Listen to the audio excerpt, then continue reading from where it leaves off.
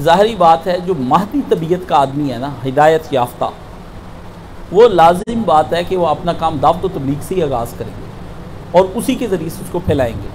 لیکن دعوت و تبلیغ کے انتظام کے اندر خود مسلمان ہی ان کی مخالفت پر اتر آئیں گے اور ان کے گروہ کو کارنر کرنے کی کوشش کی جائے گی پوری دنیا کے اندر۔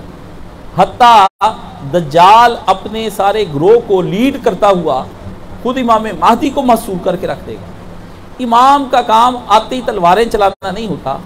پہلے تلوار نبی نے بھی چلائی ہے، لیکن پہلے نبی نے اپنے یار تیار کیے، عوام تیار کیے، انصار تیار کیے۔ آپ انصار اور عوام وہ بنا لیں جو دو دو دبکے نہ سہیں اور بھاگ جائیں جن کے سافٹ ویئر اپڈیٹ ہو جائیں آپ وہ بنا لیں۔ آپ تو گئے نا محمد مہدی سے۔ آپ تو فارغ ہو گئے۔ اللہ کے بندو، یہ جو تبتل ہے یہ جو آپ کو سائشیں یہ دکھ کاٹنے کے لیے کہ اس راہ کی آپ ازمائشیں کاٹیں گے۔ آپ کو جب رات کو پنکھا بند کر کے کال کوٹری میں پھینکیں گے، میں دیکھتا ہوں آپ کیسے کریں۔ آپ یہ دنیاوی انقلاب کے طور پر امام خمینی کا انقلاب آیا، آپ جا کے پڑھیں کیا ہوا ہے۔ آپ جا کر انقلاب روس پڑھیں۔ حالانکہ ہمارا اس طرح کا انقلاب لانے کا کوئی ارادہ نہیں ہے۔ لیکن بات یہ ہے کہ دنیاوی طور پر بھی جو انقلاب آئے ہیں، ان کے اندر حشر نشر کیا ہوا ہے؟ فساد فی لفظ تو نہیں چاہیے۔ پھر آپ کو اپنی مسلمان بھائیوں کو قتل کریں گے۔ یہ اسلام کا اور کفر کے انقلابوں میں فرق ہے۔ ہم اپنے اللہ کے نبی نے فرمایا کہ اس کا مال، جان حرام ہو گیا ہم پر، جس نے کلمہ پڑھ لیا۔ اب مجھے بتائیں، آپ کیا کریں؟ آپ کیوں نہیں دعوت و تبلیغ کی طرف آتے؟ یہ حضرت امام مہدی جب آئیں گے، ان کو آنے دیں۔ مجھے یاد ہے یہاں ہمارے امیر تحریک اسلامی ہوتے تھے۔ حکیم سید محمود سرو سہارنپوری. بہت بڑا نام راول پنڈی کا تھا، شاعر تھے، ادیب تھے، بہت بڑے. میرا بڑا ان سے محبت تھی، تقریر وہ بڑی شاندار کرتے تھے اور فیصلہ آباد میں ان کے استقبال کرتا تھا۔ تو میں حضرت صاحب کے پاس یہاں ان کے گھر بھی آتا تھا۔ آخری وقت میں بھی وہ بیمار تھے، بڑی پیاری ان کی نعت ہے۔ شہر نبی کو جائیں گے، آج نہیں تو کل سے ہی ہجر کی داد پائیں گے۔ آج نہیں تو کل سے ہی، یہ میری چشم اشک بار یہ میرا دل بے قرار ان کی نظر میں آئیں گے، آج نہیں تو کل سے۔ وہ ان سے میں نے بات کی تو وہ کہنے لگے، اس طرح میں نے کہا، یہ شیعوں کو کیسے سمجھاؤں؟ کہتے دونوں کو بٹھا لینا۔ انہوں نے انہیں وہ کہتے ہیں، امام پیدا ہو چکے ہیں۔ ڈاکٹر اسرار کہتے، اب پیدا ہوئے ہیں۔ شیعہ کہتے، پہلے پیدا ہو چکے ہیں۔ وہ کہتے، ابھی پیدا ہونے والے ہیں۔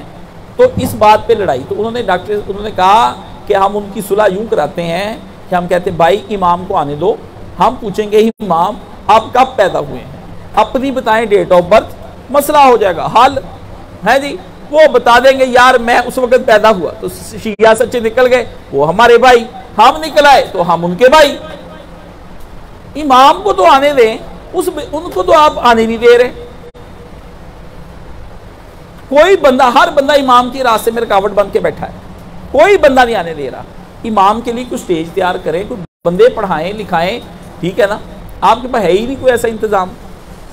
دیکھیں، امام مہدی علیہ السلام کی کوئی ایسی روایت ابھی تک تو ایسی نہیں کہ وہ آئیں گے اور آتے ہی۔ ان کا آخری وقت ہی نبی علیہ السلام نے صرف بتایا۔ اور جتنی بھی ان کے بارے میں روایات ہیں، وہ اس قدر کمزور ہیں کہ بمشکل یہی دو، ایک جو ہے نا، اپنی صحت پر جا کے درست ہوتی۔ اس بارے میں مولانا مودودی نے ایک بڑی پیاری بات کی ہے۔ مولانا کہتے ہیں امام مہدی کو بھی یہ پتہ نہیں ہوگا کہ میں امام مہدی ہوں۔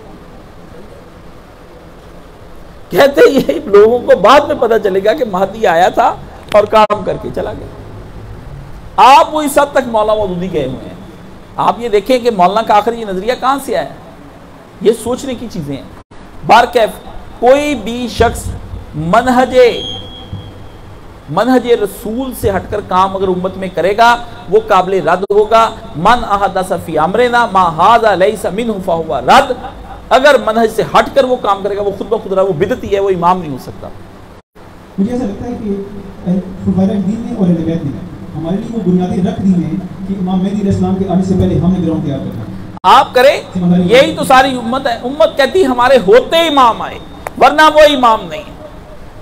ہم جائیں اس کے ساتھ جہاد، بش ساڈے تھلے بیٹھا ہوئے، ملکہ مافیاں منگ رہی ہوئے۔ ہاں جی ادھر سے وہ پیوٹن آیا ہوئے، فون کرے چودہ سالوں خدا دا واسطہ تیل دے دو تو اڈے امام نے اڈی مار کے تیل کرتا کیا آپ کرتے پھرتے ہیں؟ کس طرف کو آپ؟ یار، یہ خوش فہمیوں سے نکلیں۔ پلیز کائنڈلی یہ نہ ہر وقت خوش فہمیوں میں مسلمانوں کو نہ رکھیں۔ ان کو کہیں اٹھیں، کوئی کام کریں، کوئی محنت کریں، نماز ٹائم پہ پڑھیں، فجر کے ٹائم آپ نہیں اٹھ رہے مسئلے آپ کی ویران ہیں، آپ کے بچے، آپ کا گھر، ابا جی نماز پڑھنے جا رہے ہیں، جاتے لڑکے کے گھر کا دروازہ اپنے کمرہ نہیں کھٹکھٹاتے، اندر سے بہو کو کہ بڈھے، سونے نہیں دیتا، خود تو تجھے نیند نہیں آتی۔ جس کو بہو سے اتنا ڈر ہے، وہ امام ماتی کے بارے میں